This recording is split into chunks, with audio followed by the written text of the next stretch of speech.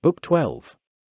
So within the shelter the warlike son of Menoetios tended stricken Eurypylos, and meanwhile the Argives and Trojans fought on in massed battle, nor was the Danaan ditch going to hold them back nor the wide wall above it they had built for the sake of their ships, and driven a deep ditch about it, and had not given to the gods grand sacrifices so that it might guard their running ships and their masses of spoil within it.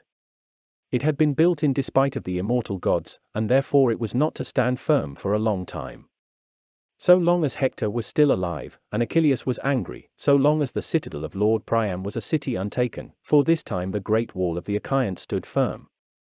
but afterward when all the bravest among the Trojans had died in the fighting, and many of the Argives had been beaten down, and some left, when in the tenth year the city of Priam was taken and the Argives gone in their ships to the beloved land of their fathers, then at last Poseidon and Apollo took counsel to wreck the wall, letting loose the strength of rivers upon it, all the rivers that run to the sea from the mountains of Ida, Rhesos and Heptaporos, Cerasos and Rhodios, Grenicos and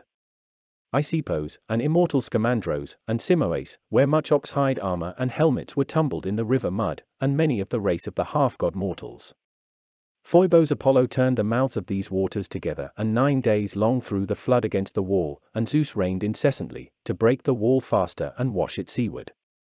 And the shaker of the earth himself holding in his hands the trident guided them, and hurled into the waves all the bastions strengthening of logs and stones the toiling Achaeans had set in position and made all smooth again by the hard-running passage of Helle and once again piled the great beach under sand, having wrecked the wall, and turned the rivers again to make their way down the same channel where before they had run the bright stream of their water. Thus, afterward, Poseidon and Apollo were minded to put things in place, but at this time battle and clamour were blazing about the strong founded wall and the bastion timbers were thundering as they were struck, as the Argives broken under Zeus' lashing were crowded back on their hollow ships, and struggled to get clear in dread of Hector, the strong one who drove men to thoughts of panic. But Hector, as he had before, fought on like a whirlwind. As when among a pack of hounds and huntsmen assembled a wild boar or lion turns at bay in the strength of his fury, and the men, closing themselves into a wall about him, stand up to face him, and cast at him with the volleying spears thrown from their hands, and in spite of this the proud heart feels not terror, nor turns to run, and it is his own courage that kills him. And again and again he turns on them trying to break the massed men and wherever he charges the masses of men break away in front of him, such was Hector as he went through the battle and rallied his companions and drove them on to cross over the ditch, but now the fast-footed horses balked at the edge of the lip, and dared not cross, whinnying loud, since the ditch in its great width frightened them from it, being not easy for them to overleap, nor to walk through, since along the whole length the jut of the overhang stood on both sides, and the surface of the floor was thickset with pointed palisades, which the sons of the Achaeans had paled their dense and huge, so as to hold off the rage of attackers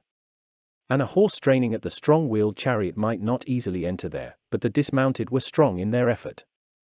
And now Polydamas stood beside bold Hector, and spoke to him, Hector, and other lords of the Trojans and companions in battle, we are senseless trying to drive our fast-footed horses over this ditch. It is hard indeed to cross, and sharp stakes are planted inside it, and across from these the wall of the Achaeans. There, there is no way to get down, no way again to do battle from horses, for the passage is narrow and I think they must be hurt there. For now if Zeus who thunders on high in evil intention toward these is destroying them utterly, sending aid to the Trojans, this is the way I would wish it, may it happen immediately that the Achaeans be destroyed here forgotten and far from Argos, but if they turn again and a backrush comes on us out of the ships, and we are driven against the deep ditch, then I think no longer could one man to carry a message get clear to the city, once the Achaeans have turned back upon us. Come then, do as I say, let us all be persuaded, let us tell our henchmen to check our horses here by the ditch, then let ourselves, all of us dismounted and armed in our war gear, follow Hector in mass formation. As for the Achaeans, they will not hold, if the bonds of death are fastened upon them. So spoke Polydamas, and this counsel of safety pleased Hector and at once in all his armor he leapt to the ground from his chariot, and the rest of the Trojans assembled, not mounted behind their horses, but all sprang to the ground, when they saw brilliant Hector had done it. Then each man gave orders to his own charioteer to check the horses in good order at the edge of the ditch, and the fighters formed apart into groups, then closing together into five well-ordered battalions followed their leaders. They who went with Hector and Polydamas the blameless, these were most numerous, and bravest, and beyond others furious to smash the wall and fight their way among the hollow ships, and Cebriones went with them as third man, while by the chariots Hector had left another man, not so good as Cebriones. Paris led the next group with Alcathous and Agenor, and Helenus, with godlike Deiphobos, led the third group, sons both of Priam, and Asios was with them as third man, Asios, son of Hyrtacos, whom his tall shining horses had carried over from Arisbe and beside the river Selleis. The leader of the fourth group was the strong son of Anchises, Aeneas, and with him were the two sons of Antenor, Archelochos and Acamas, both skilled in all fighting. Sarpedon led the far-renowned companions in battle, and had chosen to go with him Glaucos and warlike Asteropios since these seemed to him to be marked out as the bravest of the rest, after himself, but among all he was preeminent. Now when these had closed their wrought ox-hide shields together they charged straight for the Danaans, eagerly, with no thought longer of being held, but rather to hurl themselves on the black ships. Then the rest of the Trojans and renowned companions in battle were willing to follow the order of blameless Polydamas. Only Asios, Hyrtacos' son, lord of men, was unwilling to leave his horses there and a charioteer to attend them but kept them with him, and so drove on at the fast-running vessels, poor fool, who by the ships in the pride of his horses and chariot was not destined to evade the evil spirits of destruction nor ever to make his way back again to windy Ilion. Before this the dark name Destiny had shrouded about him through the spear of Idomeneus, proud son of Deucalion for he sent his horses to the left of the ships, where the Achaeans were streaming back from the level ground with horses and chariots, and this way he drove his chariot and horses, and found there the leaves not yet pushed home in the gates, nor the long door bar, but men were holding them wide apart, on the chance of rescuing some one of their companions running for the ships from the battle. Of a purpose he steered his horses straight there, and his men followed screaming aloud, since they thought the Achaeans no longer would hold, but that they would be driven back on their dark ships. Fools! Since in the gates they found two men of the bravest, high-hearted sons of the spear-fighting Lapithae, one the son of Peirithous, powerful Polypoetes, and one Leonteus, a man like the murderous god of battles. Now these two, who had taken their place in front of the high gates, stood there like two oaks who rear their crests in the mountains and through day upon day stand up to the wind and the rain beat since their great roots reach far and are gripped in the ground. So these two, in the confidence of their strength and their hands' work, stood up to tall Asios advancing upon them, nor gave way. But these, holding up high the tanned leather of their shields, moved straight in on the strong-built wall with enormous clamor around Asios their lord and Iamenos and Orestes, and Asios son Adamas, and Oinomaus and Thoon. In this time the Lapithae still inside the wall were striving to stir up the strong-grieved Achaeans to defend the vessels, but among the Danaans, when they saw the Trojans sweeping on against the wall, a clamor arose, and they gave way, and the two bursting through the gates fought on in front of them. They were in the likeness of two wild boars who in the mountains await a rabble of men and dogs advancing upon them and as they go tearing slantwise and rip the timber about them to pieces at the stock, the grinding scream of their teeth sounds high, until some man hits them with his throw and takes the life from them. Such was the grinding scream from the bright bronze covering their chests struck hard on by spears, for they fought a very strong battle in the confidence of their own strength. And the people above them, these flung about them with great stones torn from the strong-founded bastions, as they fought in defense of themselves, and the shelters, and the fast-running vessels, so that the flung stones dropped to the ground like snowflakes which the winds blast whirling the shadowy clouds drifts in their abundance along the prospering earth. So the missiles flung from the hands of Achaeans, and Trojans also, went showering, and the helms and shields massive in the middle crashed hollow underneath the impact of rocks like millstones and now Asios, Hyrtacos' son, groaned aloud and beat on both thighs with his hands, and spoke aloud in his agony, Zeus father, now even you are made utterly a lover of deception. For I never thought the fighting Achaeans would be able to hold our strength and our hands invincible. But they, as wasps quick bending in the middle, or as bees will make their homes at the side of the rocky way, and will not abandon the hollow house they have made, but stand up to men who come to destroy them, and fight for the sake of their children. So these, though they are only two, are unwilling to give back from the gates, until they have killed their men, or are taken. He spoke, but by such talk did not persuade the heart of Zeus whose desire it was to extend the glory to Hector. And now at the various gates various men fought each other. It were too much toil for me, as if I were a god, to tell all this, for all about the stone wall the inhuman strength of the fire was rising, and the Argives fought unhappily, yet they must fight on, to defend their ships. And all the gods who were helpers of the Danaans in the fighting were dejected in spirit. But the Lapithae fought on and closed in the hateful fighting, and there the son of Peirithous, powerful Polypoetes, struck Damasos with the spear through the bronze-sided helmet, and the brazen helmet could not hold, but the bronze spearhead driven on through smashed the bone apart, and the inward brain was all spattered forth. So he beat him down in his fury. Then he went on to kill Pylon and Ormenos. Meanwhile Leonteus, the scion of Ares, struck down Antimachos' son, Hippomachos, with a spear cast into the war belt and afterward drawing his sharp sword out of the scabbard made a rush through the crowding men, and struck from close up Antiphates first, so that he crashed on his back to the ground, then beat down along the prospering earth Menon and Orestes and Iamenos, all beaten down in rapid succession.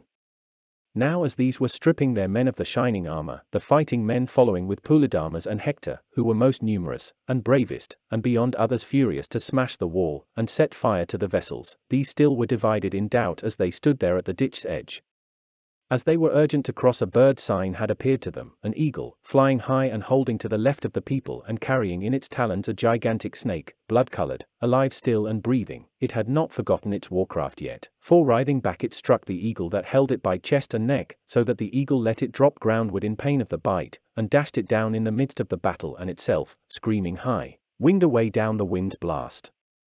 And the Trojans shivered with fear as they looked on the lithe snake lying in their midst, a portent of Zeus of the Aegis.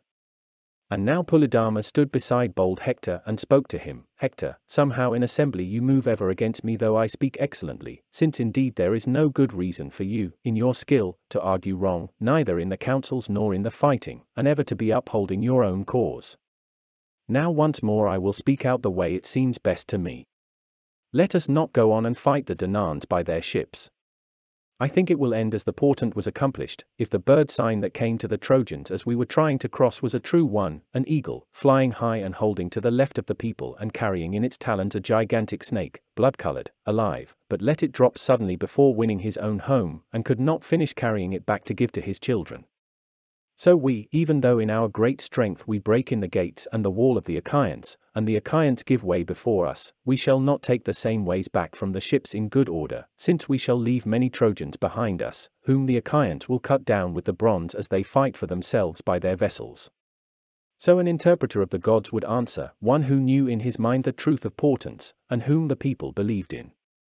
Looking darkly at him tall Hector of the shining helm answered, Polydamas, these things that you argue please me no longer.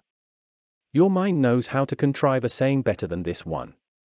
But if in all seriousness this is your true argument, then it is the very gods who ruined the brain within you, you who are telling me to forget the counsels of thunderous Zeus, in which he himself nodded his head to me and assented.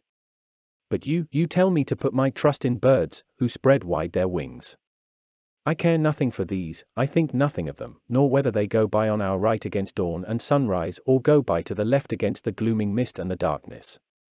No, let us put our trust in the counsel of great Zeus, he who is Lord over all mortal men and all the immortals. One bird sign is best, to fight in defense of our country. Why are you so afraid of war and hostility? Even though all the rest of us were to be cut down around you among the Argive ships, you would run no danger of dying since your heart is not enduring in battle nor a fighter's. But if you shrink away from the murderous work, or turn back some other man from the fighting, beguiling him with your arguments, at once beaten down under my spear you will lose your own life. He spoke, and led the way, and the rest of them came on after him with unearthly clamor, and over them Zeus who delights in the thunder drove down from among the hills of Ida the blast of a windstorm which swept the dust straight against the ships. He was mazing the minds of the Achaeans, and giving glory to the Trojans and Hector, and they in the confidence of the portent shown, and their own strength, worked to break down the great wall of the Achaeans. They tore at the projections on the outworks, and broke down the battlements and shook with levers the jut of the buttresses the Achaeans had stuck in the earth on the outer face to shore their defences. They tore at these, in hope of breaking down the Achaeans' wall, but now the Danaans did not give way in front of them, but they, fencing the battlements with the hides of oxen, hurled from the wall at the enemy who came on beneath it. The two Aeantes, walking up and down the length of the ramparts, urged the men on, stirring up the warcraft of the Achaeans, and stung them along, using kind words to one, to another hard ones, whenever they saw a man hang back from the fighting. Dear friends, you who are preeminent among the Argives, you who are of middle estate, you who are of low account, since all of us are not alike in battle, this is work for all now, and you yourselves can see it. Now let no man let himself be turned back upon the ships for the sound of their blustering, but keep forever forward calling out courage to each other. So may Olympian Zeus who grips the thunderbolt grant us a way to the city, when we beat off the attack of our enemies. Such was their far cry, and they stirred the Achaeans' war strength. And they, as storms of snow descend to the ground incessant on a winter day, when Zeus of the councils, showing before men what shafts he possesses, brings on a snowstorm and stills the winds asleep in the solid drift, enshrouding the peaks that tower among the mountains and the shoulders outjutting, and the low lands with their grasses, and the prospering work of men's hands, and the drift falls along the grey sea, the harbours and beaches, and the surf that breaks against it is stilled, and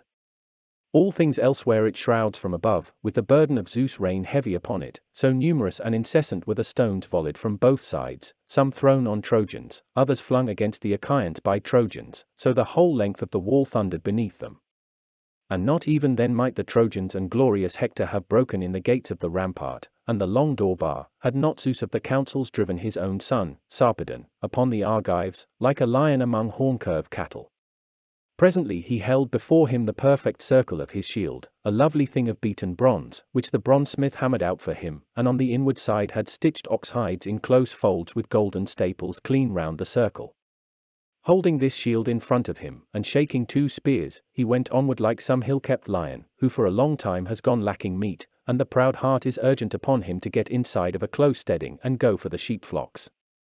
And even though he finds herdsmen in that place, who are watching about their sheep flocks, armed with spears, and with dogs, even so he has no thought of being driven from the steading without some attack made, and either makes his spring and seizes a sheep, or else himself is hit in the first attack by a spear from a swift hand thrown.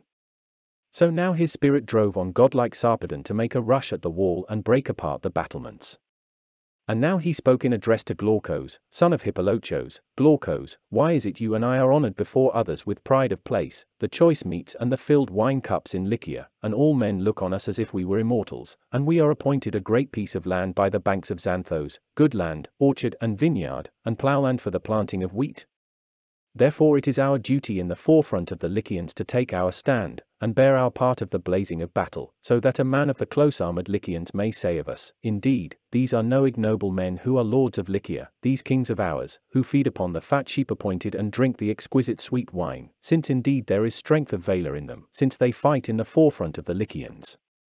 Man, supposing you and I, escaping this battle, would be able to live on forever, ageless, immortal, so neither would I myself go on fighting in the foremost nor would I urge you into the fighting where men win glory. But now, seeing that the spirits of death stand close about us in their thousands, no man can turn aside nor escape them, let us go on and win glory for ourselves, or yield it to others. He spoke, nor did Glaucus disobey him nor turn aside from him. They, leading the great horde of the Lycians, advanced straight onward, and the son of Peteos, Menestheus, shivered as he saw them since they came against his bastion and carried disaster upon it. He scanned the rampart of the Achaeans in the hope of seeing some great chief who could beat back the bane from his company, and saw the two Aeantes, insatiate of battle, standing on the wall, and Teucros even now coming up from the shelter, and close by, but he was not able to cry out and make them hear, so great was the clamour about him as the shouts hit skyward, as shields were battered with missiles, and the helmets crested with horse, hair, and the gates, which all had been slammed shut. And the Trojans standing against them were trying to break them down and force their way in. At once he sent Thoots off as a runner to Aias, go on the run, brilliant Thoots, and call Aias here, or better, both Aeantes, since that would be far the best thing that could happen, since here headlong destruction is building against us. Such is the weight of the Lycian lords upon us, who even before now have shown as deadly men in the strong encounters. But if in their place also hard work and fury have arisen, at least let powerful Telamonian Aias come by himself, and let Teucros follow with him, with his craft in the bow's use. He spoke, nor did the herald disobey when he heard him, but went on the run along the wall of the bronze-armored Achaeans and came and stood by the two Aeantes, and spoke to them straight out, Aeantes, leaders of the bronze-armored Argives, Menestheus, beloved son of Peteos engendered of Zeus, desires you to go where he is and meet the danger, if only for a little, both of you for choice, since that would be far the best thing that could happen, since their headlong destruction is building against him. Such is the weight of the Lycian lords upon him, who even before now have shown as deadly men in the strong encounters. But if in this place also hard fighting and fury have arisen, at least let powerful Telamonian Aias come by himself and let Teucros follow with him, with his craft in the bow's use. He spoke, and huge Telamonian Aias did not disobey him, but at once called out in winged words to Aias, the son of Oileus, Aias, now you too, yourself and strong Lycomedes, must stand your ground and urge on the Danaans to fight strongly. I am going over there to meet the attack, and afterward I will come back soon, when I have beaten them back from the others. So speaking Telamonian Aias went away, and with him went Teucros, his brother by the same father, and following them was Pandion, who carried the curved bow for Teucros. They kept inside the wall as they went, till they came to the bastion of high-hearted Menestheus, and found men who were hard-pressed there, for the strong lords and men of council among the Lycians came on against the battlements like a darkening storm wind, and they charged forward to fight with these, and the clamour rose high. First to kill his man was Telamonian Aias. It was Sarpedon's companion in arms, high-hearted Epicles, whom he struck with a great jagged stone, that lay at the inside of the wall, huge, on top of the battlements. A man could not easily hold it, not even if he were very strong, in both hands, of men such as men are now, but he heaving it high threw it, and smashed in the four-sheeted helm, and pounded to pieces the bones of the head inside it, so that Epicles dropped like a diver from the high bastion, and the life left his bones and Teucros with an arrow struck the strong son of Hippolochos, Glaucos, as he was swarming aloft the wall's high bastion, where he saw the arm was bare of defence, and stayed his warcraft, he sprang down from the wall, secretly, for fear some Achaean might see that he had been hit and vaunt with high words over him.